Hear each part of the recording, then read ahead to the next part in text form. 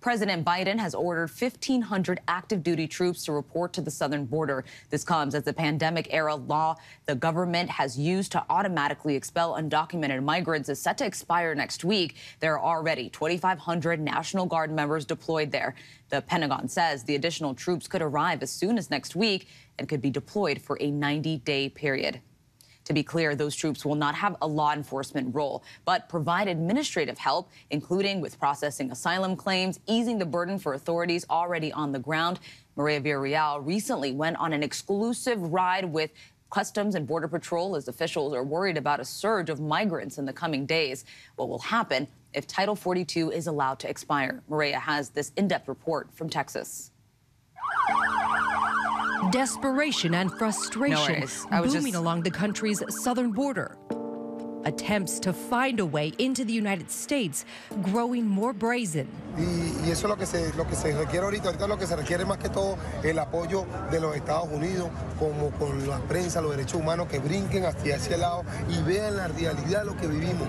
With Title 42 on the verge of dissolution the Biden administration under fire for persistently high rates of migrant arrivals. In just the two years of Secretary Mayorkas' reign at DHS, more people have come into this country than all of the eight years of Barack Obama's presidency and all four years of the Trump presidency combined. We've seen one sector out of eight experience an increase. That's not a crisis.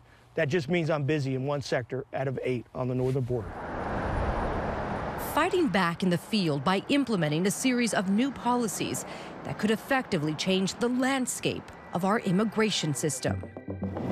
Here, follow me just at 9108 is up reported. Okay, now I know where we're going. The Rio Grande Valley sector is consistently one of the busiest regions for Border Patrol agents, covering more than 34,000 square miles of southeast Texas.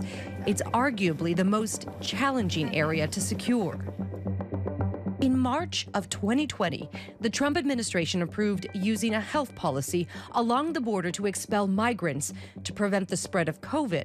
Three years later, despite the pandemic essentially being over, the Biden administration is still heavily relying on Title 42.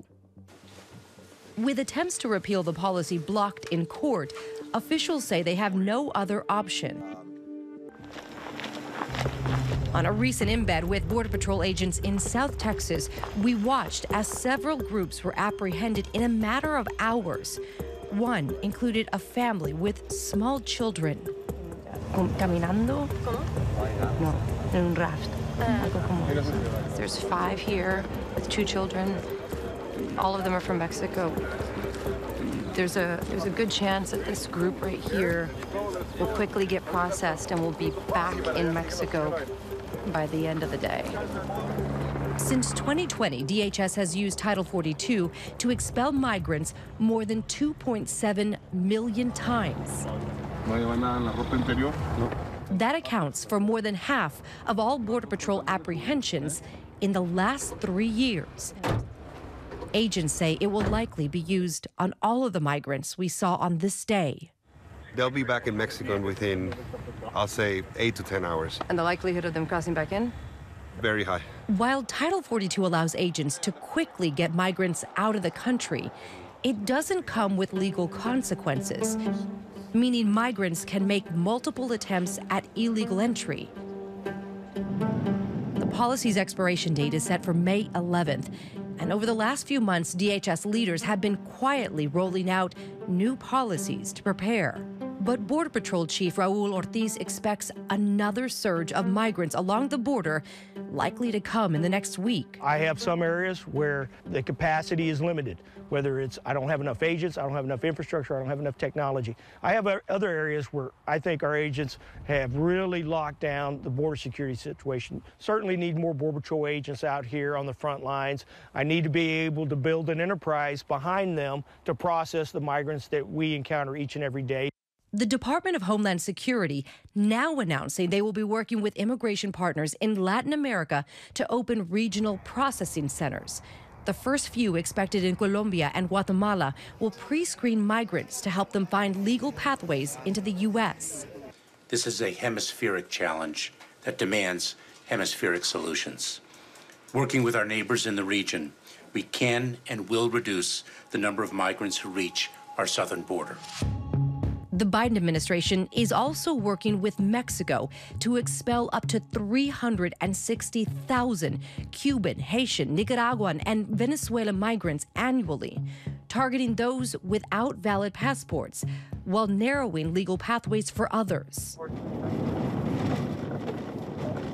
Immigration advocates blame the U.S. for putting asylum seekers in danger with this policy by keeping them in Mexico where their safety is not guaranteed. Todo nos ha tocado rudo en México, no ha sido ni en la selva, que es una cosa de loco como todo el mundo reconoce. No, lo peor es México. That frustration shared by border communities in Texas that are now bearing the brunt of this immigration battle. Our main challenges are we need commerce and trade to be moving. And you got all these guys from a lot of other places that know nothing about the border. Sam Vaya grew up along the South Texas border. He owns an international bridge in Rio Grande City and leases it to the federal government. His community thrives on a safe but busy border. There's billions of dollars and hundreds of thousands of jobs across the United States benefiting from this. What they need is better equipment, better methods to examine things. You don't stop the drugstore because one of the guys in the drugstore is giving away prescriptions. We wouldn't have Walmart then. We wouldn't have CVS and the Walgreens. You're constantly training better, putting more equipment in. The next generation of inspection equipment, they can tell you if you've changed a bolt on the car. I never thought I'd do this. We volunteered to have facial recognition. Vaya worries the border from California to Texas is being used by both sides of the aisle. And as the deadline to get rid of Title 42 creeps closer, uncertainty continues to grow, making it harder for communities like this. My father was Mexican and my mother was from East Texas. So they, they joined together, lived a happy life. Why can't we?